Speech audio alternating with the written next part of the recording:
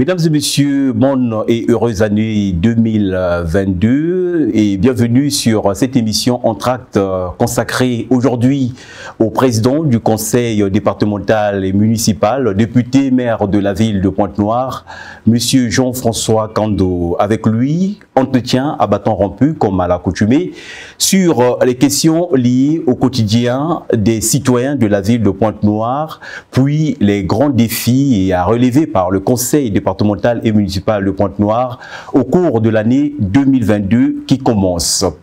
Monsieur Jean-François Kondo, bonjour. Bonjour, mon cher ami. Merci de nous recevoir. C'est un plaisir. Première question, monsieur le maire. Euh, vous étiez certainement dans la salle quand le président de la République a dit son discours sur l'état euh, de la nation devant le Parlement réuni en congrès. Quels sont les points saillants qui vous ont marqué Très bien, mais écoutez, euh, le discours sur l'état de la nation est un moment important pour le président de la République euh, et pour le pays, parce que c'est un moment où le président de la République fait de la rétrospective de l'année avec euh, quelques haltes et en plus quelques prospectives. donc il est difficile pour euh, un citoyen de trouver des points qui soient plus importants que les autres dans un discours comme celui-là.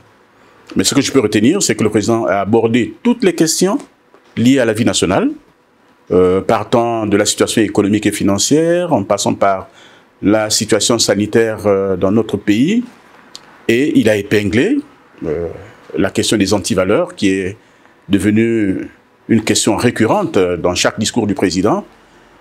Et de façon spécifique, il a parlé de la justice. Il a parlé de la justice qui est aujourd'hui un goulot d'étranglement dans la bonne gouvernance euh, judiciaire euh, euh, dans notre pays. En tout cas, ce sont les points saillants que moi j'ai retenus dans ce discours. Je, ne, je vous épargne les détails, parce que les, les détails, il n'y a que le président lui-même qui a su euh, les, les prononcer. Mais pour moi, ce sont ces grands points que j'ai retenus. Et je pense que ce discours rentre bien dans ce que le président de la République a toujours fait. Euh, il y a des sujets qui reviennent de façon récurrente, mais parce que euh, il a envie, il souhaite que cela change. Et nous ne pouvons que nous satisfaire de cela. D'abord, le respect des dispositions constitutionnelles euh, qui sont les siennes, puisque, euh, comme vous savez, hein, je vais peut-être faire une digression, les réseaux sociaux étaient en train de beaucoup épiloguer autour. Euh, le président de la République a montré qu'il était en bonne santé, ça il faut le dire, parce qu'il y avait beaucoup de spéculations. Beaucoup de spéculations, on parlait même de vacances de pouvoir. pouvoir. on va considérer cela comme la même gymnastique que nous connaissons. Vous savez, les réseaux sociaux spéculent beaucoup. Mais bon, ce qui est constant, c'est que le président de la République euh, s'est présenté devant le Parlement réuni en congrès en bonne santé. Il a fait un discours de plus de deux heures. C'est déjà un signe. Et donc, euh, le pays se porte bien. Et ce que j'ai retenu, ce sont les perspectives euh, de, de, relance de la situation globale de notre pays. Et ça, ça nous donne un petit baume au cœur. Parce que le pays a tellement souffert de la crise que lorsqu'on nous donne des informations sur, euh, qui concernent la sortie de crise, ça ne peut que euh, satisfaire le Congolais le plus conscient. Et moi, j'en suis un, et je suis un peu ce qui se passe, et je suis heureux de savoir que des choses se font pour que nous puissions sortir de cette crise économique et financière qui nous étreint depuis 2014. Sur le volet politique, euh, dans ce discours, euh, le président a martelé sur euh, les élections législatives et locales à venir qui doivent se dérouler dans la quiétude et la paix. Bon, mais écoutez, depuis que le président Dédé Sassou Nguesso est revenu au pouvoir, il a instauré une régularité des élections incontestable. Tous les, cinq ans, hier, sous l'empire de la Constitution du, du 20 janvier 2002, euh, la présidentielle était espacée de sept ans. Mais en tout cas, depuis qu'il est revenu au pouvoir, nous avons eu nos élections en temps et en heure. Et, ces élections se sont toujours bien passées. Il n'y a pas de raison pour que celles-ci ne se passent pas bien. Hein, euh, euh, déjà, l'élection présidentielle, qui était l'élection majeure, l'élection présidentielle s'est passée dans les meilleures conditions, nous le savons. donc, les élections législatives se passeront bien et je suis d'accord avec le président pour que nous puissions préserver l'essentiel. L'essentiel pour nous, c'est le pays. Peu importe celui qui gagne, pourvu qu'il travaille pour le pays. Et je crois que ce précepte est un credo pour le président. Alors, euh, venons-en maintenant aux questions concernant les citoyens de la ville de Pointe-Noire. Euh, la ville de Pointe-Noire est émaillée euh, de plusieurs problèmes qui entachent, n'est-ce pas, le quotidien de ces citoyens. On parle des transports en commun, on parle des érosions, on parle des routes qui sont devenues défectueuses. Comment est-ce que le maire de la ville de Pointe-Noire entend-il donner des réponses à toutes ces questions euh, au cours de cette année 2022 qui commence? Bien, mais écoutez, je suis d'accord avec euh, vous que la ville va mal. Il y a beaucoup de problèmes d'urbanisation, beaucoup de pauvreté urbaine dans tous les quartiers. Mais comme vous le savez, euh, la seule bonne volonté ne suffit pas. et l'incantation du verbe aussi ne suffit pas. Il faut aller aux actes. Or, pour passer aux actes, il faut avoir les moyens de son ambition. Euh, vous savez que depuis un certain temps, je ne sais pas si vous suivez l'actualité, il y a un grand débat autour de la question de la décentralisation dans notre pays. Et cette question est une question importante, cardinale, parce que la décentralisation est un mode de gestion qui permet à l'État de souffler, parce que ce sont des entités qu'on appelle collectivités locales qui prennent le relais des désidérata des populations au plus près. Malheureusement, cette décentralisation connaît beaucoup de problèmes. Euh, ces problèmes sont surtout d'ordre financier, mais aussi d'ordre institutionnel, c'est-à-dire que les lois qu'on prend pour renforcer la décentralisation ne sont pas totalement appliquées. Et comme vous le dites, euh, les routes sont cabossées, euh, il y a des ravins par-ci par-là. Mais pour régler cela, il nous faut une vraie politique à long terme.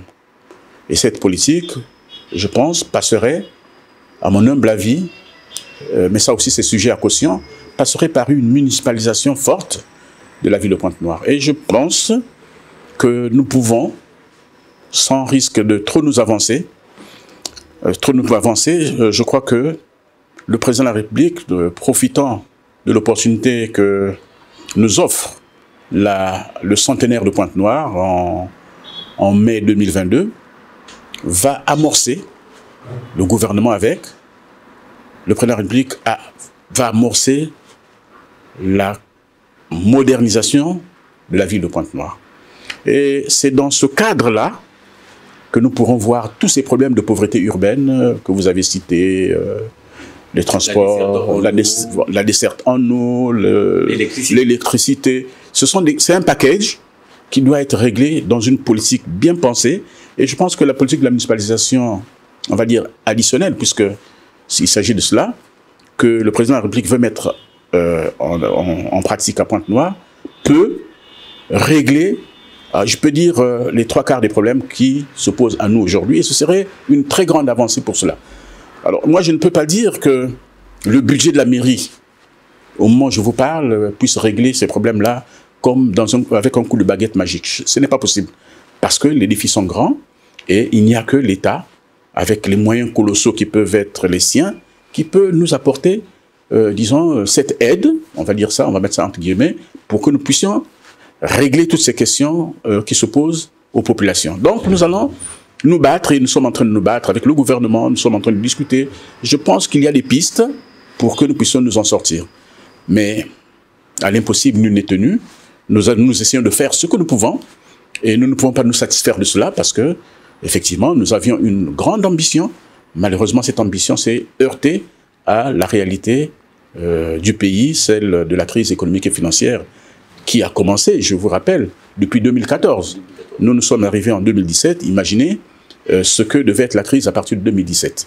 Donc, nous sommes là dans la perspective de relance. Je vous disais tout à l'heure que le président de la République a esquissé quelques signaux positifs euh, dans le cadre de la relance. Et ça, ça nous satisfait parce que nous espérons que cette relance va aussi impacter euh, le développement des villes, notamment la ville de Pointe-Noire, qui est notre ville. Monsieur le maire, vous l'avez dit, et on va faire un petit détour pour éclairer la lanterne du public, Monténégrin qui nous regarde.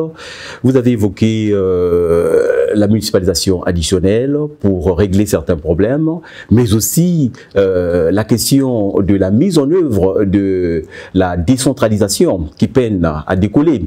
Alors, est-ce qu'on peut comprendre pourquoi est-ce que cette euh, décentralisation peine à être installée dans nos villes, dans nos départements? Bon, il faut, il faut retenir une chose. Le processus de décentralisation de notre pays est irréversible. Mais, comme tout, euh, tout élément qui croit, euh, la décentralisation rencontre des problèmes dans sa marche. Ce sont des problèmes euh, que je peux considérer à la fois conjoncturels, mais d'autres sont structurels. mais la volonté d'aller vers la décentralisation est une volonté exprimée. D'ailleurs, dans la constitution du 25 octobre, il est bien dit que le Congo était un État décentralisé. Donc ça veut dire que la décentralisation a été érigée en principe constitutionnel. Donc euh, euh, euh, ne pas faire la décentralisation, c'est violer la constitution. Et je ne vois pas nos dirigeants vouloir violer la constitution en se dédisant. Mais ce qu'il faut reconnaître, c'est que nous sommes, nous sommes dans une situation économique et financière difficile. Ça, il faut l'avouer, il faut le savoir. Euh, parce que le peuple n'a pas toujours la bonne information. Hein, euh, les informations sont diffuses, chacun raconte ce qu'il peut raconter, mais il faut suivre ce qui se passe dans son pays pour mieux comprendre. Euh, la crise est là. Il faut même avouer que je ne fais pas de, du triomphalisme pour dire que nous sommes les meilleurs, mais il faut avouer que notre gouvernement tient quand même le coup. Parce que la situation économique et financière, si vous la voyez telle qu'elle est, on peut se demander comment est-ce que le gouvernement s'en sort. Et donc, nous qui sommes acteurs publics, nous comprenons. Mais cette compréhension n'est pas la même vis-à-vis des populations. Vous savez, les populations sont comme euh, un enfant qui pense que son père est le plus riche. Tous les matins, il a besoin de son pain. Papa ne peut pas lui dire qu'il n'a pas faim, il ne comprendra pas. Et donc, c'est un peu comme les populations. Mais je pense que vos médias devaient être aussi des médias responsables hein, pour relayer la bonne information euh, ne pas tomber sur des commentaires euh, qui n'ont rien à voir avec la réalité, parce que la réalité, c'est qu'un gouvernement d'un pays ne peut pas de façon délibérée ne plus investir, de façon délibérée ne plus donner des, subventions aux, collectivités locales que, que, cet État ou ce gouvernement a lui-même mis en place. Donc c'est pour dire que s'il y a les couacs, il y a véritablement problème. Et ces problèmes-là sont des problèmes... Euh, il faut reconnaître que nous sommes un pays sous-développé. Hein euh, ne pensons pas que nous avons les moyens illimités. Même la France, qui est un pays développé, a toujours des problèmes. La décentralisation là-bas, qui a commencé depuis longtemps avant nous, n'a pas toujours euh, euh, trouvé le point d'ancrage pour qu'il, pour qu'elle s'affirme comme un moyen de, de, gestion de l'État. Il y a toujours des problèmes. C'est pourquoi il y a beaucoup de réunions. Donc, nous espérons que lorsque nous allons sortir de cette crise économique et financière, les choses vont revenir un peu comme avant, parce que nous n'avons eu des plaintes qu'à partir de, de 2021. En 2020, bien que nous soyons en crise, l'État s'était forcé à faire quelque chose pour les, les, villes. Même si c'est quelque chose qui n'est pas consistant, mais on a quand même fait quelque chose, on sentait une certaine volonté. Bon, si l'État n'a pas pu faire en 2021, ça veut dire qu'il y a eu un problème. Des gros soucis. Vous savez que le pays est en négociation avec euh, le Fonds monétaire international. Et tant que nous n'avons pas euh, fini avec euh, cette institution financière, il va nous être difficile de redresser certains agrégats notamment les, agrégats financiers. Donc, le peuple euh, qui pense qu'il est innocent vis-à-vis de cette question doit se sentir concerné. Donc voilà un peu ce que je peux dire. Hein, Monsieur le maire, vous l'avez dit, hein, les populations sont mal informées. Vous êtes élu du peuple, député euh, de Mongopuku, et euh, votre circonscription électorale est frappée par euh, des érosions au point où les populations ne savent plus à quel sein se vouer. Alors, comment est-ce que l'État gère-t-il le dossier lac chinois? Bon, mais là, vous avez pris juste un point du problème. Mais les ravins euh, euh, sont partout dans le Congo. Vous allez à Brazzaville, il y a des ravins. Vous allez euh, dans beaucoup. Ça, c'est la conséquence des changements climatiques. tout le monde le sait, on le vit désormais. Mais c'est une question importante, mais qu'on ne peut pas régler avec des moyens dérisoires. Avec des moyens dérisoires. Il faut toute une politique de gestion de ces phénomènes euh, euh, que je peux appeler des phénomènes naturels. Le lac chinois n'est qu'un avatar de, de, de, ces problèmes. Donc, tout cela va rentrer dans la politique, globale du gouvernement, parce que la mairie, la municipalité, je peux vous avouer que elle ne peut pas, la mairie, la municipalité ne peut pas régler ces problèmes-là. Pour régler ces problèmes, il faut des milliards. Et comme il y en a dans tout le pays, vous comprenez donc que c'est une tâche difficile, mais je sais que l'État a dans ses boîtes, dans ses tuyaux, cette question des ravins parce que c'est une question nationale. Donc, euh, euh, je suis désolé pour les populations de, ces quartiers, mais ce qu'on peut faire, c'est ce que nous avons toujours fait, hein, aider les populations environnantes qui sont engagées à faire quelque peu euh, à faire, à, faire quelques, à, poser quelques actes pour, que, pour atténuer le phénomène. Nous avons quand même réussi à ralentir par-ci, par-là, mais il faut vraiment une solution radicale. Mais cette solution se trouve au niveau du gouvernement, mais le gouvernement doit avoir les moyens de sa politique. Aussi, quand on sillonne la ville de Pointe-Noire, on se rend aisément compte qu'il y, a, qu'il y a beaucoup de travaux de voirie qui sont abandonnés ici. Il faut dire qu'il y a quelques travaux de voirie qui sont qui sont en arrêt. Parce qu'abandonner, c'est comme si on a tourné le dos. Mais je voudrais, je sais déjà là où vous voulez en venir. Non, ces travaux ne sont pas abandonnés. Parce qu'on ne peut pas abandonner là où vous avez mis de l'argent. Mais même dans la vie euh, courante, on voit des gens qui ont commencé des maisons, et puis, bon, les chantiers s'arrêtent. Mais ce n'est pas pourtant dire qu'il a abandonné sa maison. Un arrêt que, euh, Non, mais c'est parce que cela ne, cela ne se fait pas euh, par un coup de baguette magique. Je crois que dans, ce que nous avons dit, vous avez compris pourquoi ces chantiers sont quelque peu en arrêt, mais temporaire. Euh, je vous ai dit que, avec le gouvernement, nous sommes en train de trouver la meilleure solution pour que tous les mois, ceux qui devaient revenir au collectif local reviennent et nous allons reprendre aisément ces chantiers. Mais euh, il n'y a pas que il n'y a pas que ces chantiers qui sont arrêtés, mais il y a aussi des reprises. Il y a des reprises, euh, euh, par exemple, sur Maluango.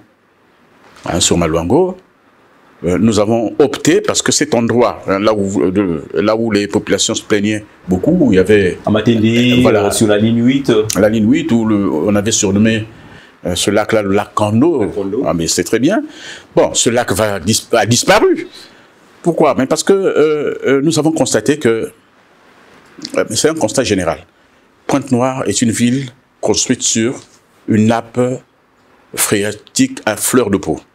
Donc il y a des remontées capillaires qui font que, même quand vous construisez vos routes avec le bitume, il y a toujours des, nids de poules qui, qui naissent par-ci par-là, parce qu'il y a une pression forte des eaux sur les chaussées.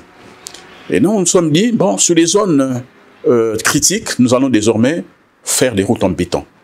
Donc si vous repartez là-bas, vous verrez que le tronçon qui posait problème a maintenant du béton dessus.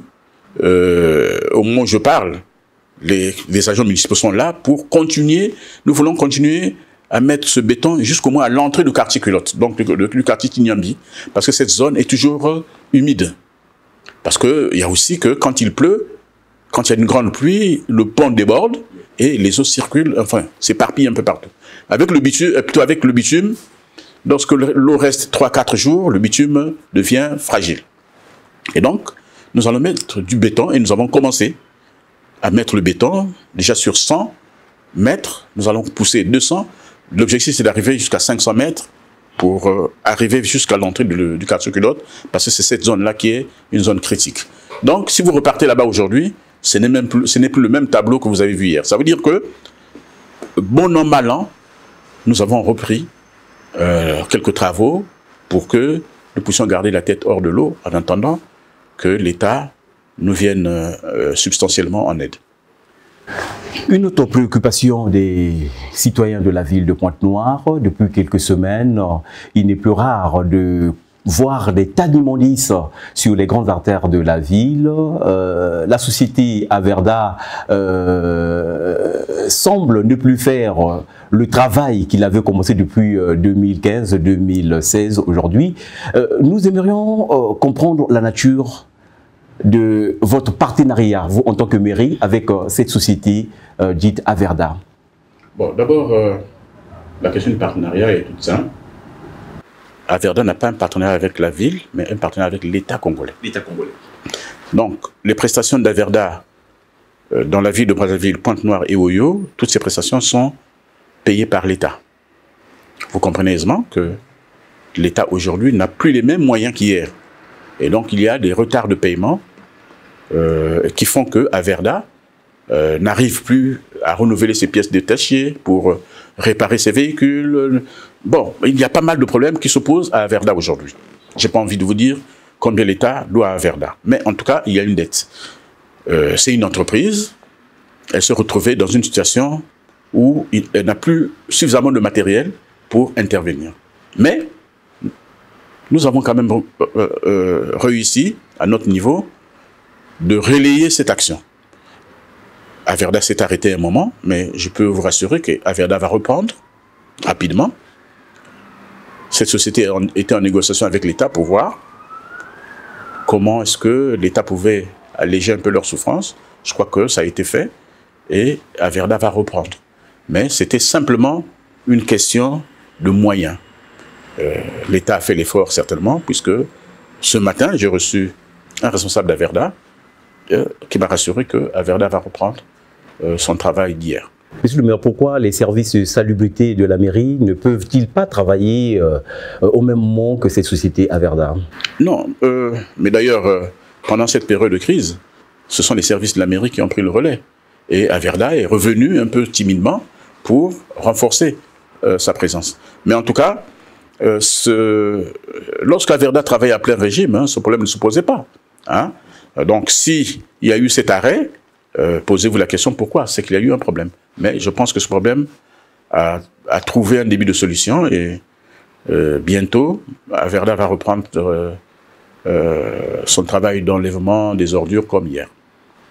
Monsieur Jean-François Kandou, euh, petit à petit, vous êtes en train d'aller vers le terme de votre quinquennat à la tête euh, du conseil départemental et municipal euh, de Pointe-Noire. Aujourd'hui, pour le commun des Pontenégrins, peut-on connaître les grandes réalisations que vous avez faites à la tête de cette mairie? Bon, ce serait... Les principales réalisations Non, non, ce serait du narcissisme ou d'une faire preuve d'une certaine autosatisfaction béate.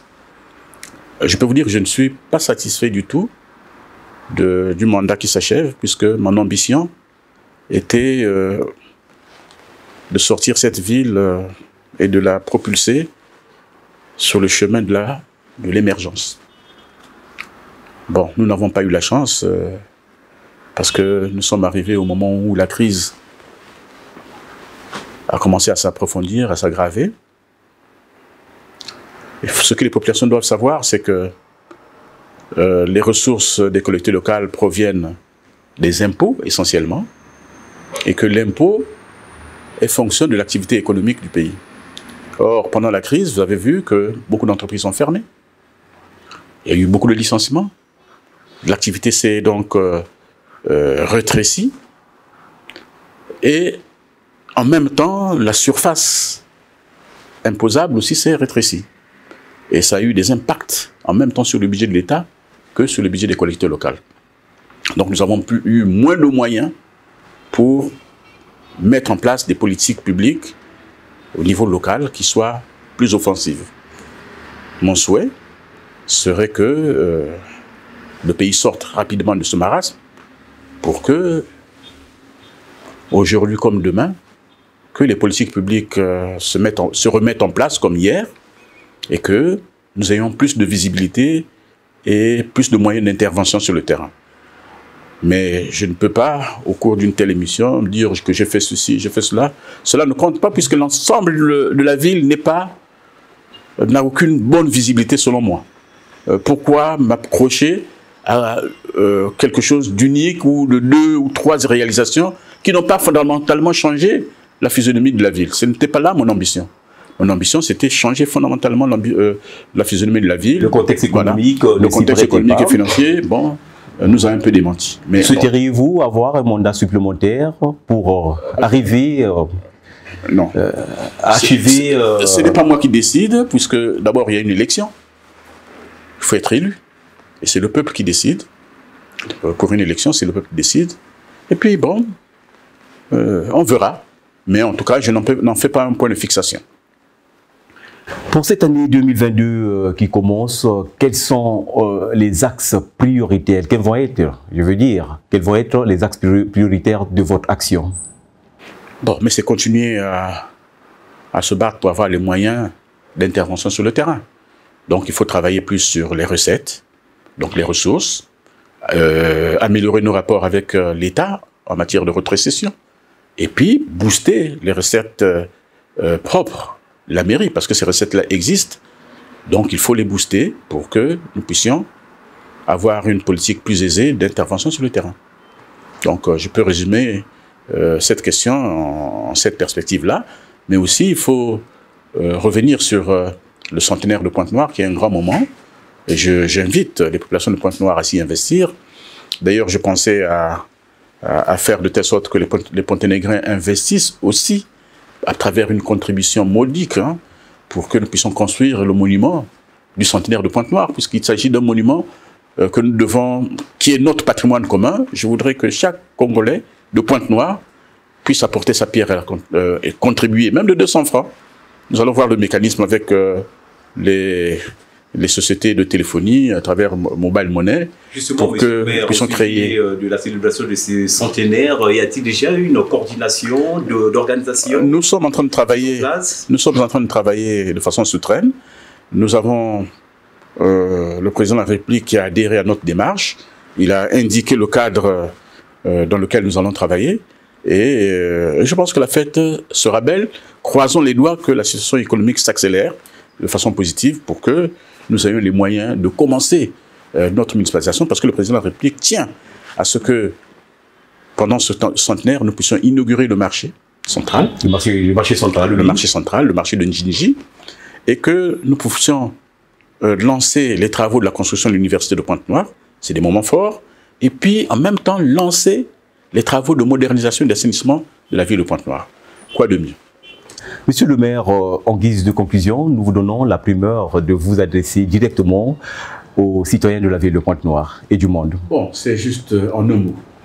Puisque nous sommes en fin d'année, euh, les us et coutumes commandent que nous puissions souhaiter les vœux de bonne et heureuse année à notre population qui, il faut avouer, a vécu depuis euh, la fin de 2020 et euh, de toute l'année 2021, une situation euh, très difficile parce que nous avons été confinés, nous sommes restés dans un couvre-feu qui, nous, qui restreignait un peu notre liberté de déplacement, d'action. Et beaucoup d'entreprises, notamment les coins de régissance, ont été longtemps fermés. Et ça, ça a été donc euh, des années éprouvantes pour les, euh, populations du Congo en général, même du monde aussi. Mais il faut reconnaître que si nous n'avions pas fait cela, peut-être que nous, serons, nous aurons vécu l'hécatombe. Il faut donc se satisfaire de ce que nous sommes encore en vie. C'est vrai que beaucoup de frères nous ont quittés, mais nous sommes encore en vie, il faut continuer à vivre. C'est pourquoi je, je recommande encore une fois, à l'instar de ce que le président de la République a dit, de respecter les mesures barrières. Nous sommes euh, en situation de fête. C'est vrai, mais la fête, ce n'est pas une fin en soi. Il ne faut pas que les gens se retrouvent en groupe pour créer des clusters qui vont contaminer le maximum des de, Ponténégrins. Parce que ma peur, c'est de voir qu'en janvier, qu'il y ait beaucoup de contaminés. Mais chacun doit faire attention. Faites attention, portez votre masque et évitez les grands rassemblements. Pour le reste, laissons l'avenir nous dire ce que va devenir Pointe-Noire demain, puisque nous avons une perspective, nous avons une grande échéance, c'est la, euh, le centenaire de Pointe-Noire, et le président de la République, euh, qui est un homme de parole, nous a promis cette, euh, cette municipalisation additionnelle. Nous croisons les doigts pour que celle-ci se réalise et que Pointe-Noire soit désormais portée au panthéon des villes modernes, hein, comme les, le sont euh, toutes les grandes villes. Nous sommes quand même une ville capitale économique, donc nous allons mériter ce nom-là de capitale économique. Monsieur le maire, tout en vous souhaitant bonne et heureuse année 2022, nous vous disons merci euh, pour cet accueil. Merci beaucoup. Et mesdames et messieurs, vous qui nous regardez à travers le monde, cette émission en tract qui recevait pour ce jour monsieur Jean-François Kando, président euh, du conseil départemental et municipal, député maire de la ville euh, de Pointe-Noire, est disponible sur toutes les plateformes des réseaux sociaux. Merci de l'avoir et à très bientôt dans un prochain numéro. Au revoir.